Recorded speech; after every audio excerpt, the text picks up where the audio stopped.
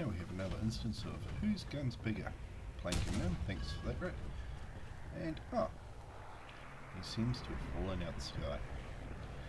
Bet you he's a bit pissed about that about now. Yeah, should we see from his point of view?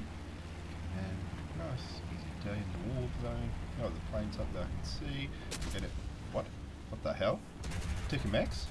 Lies! No, no survivors, as it should be. Oh, there you go.